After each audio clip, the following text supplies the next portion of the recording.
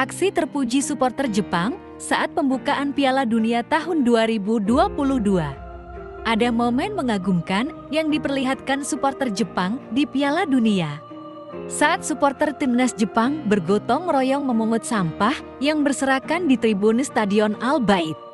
Dalam video yang dirilis Omar Faruk salah satu artis asal Bahrain, supporter timnas Jepang tampak sudah membawa trash bag atau kantong sampah sendiri.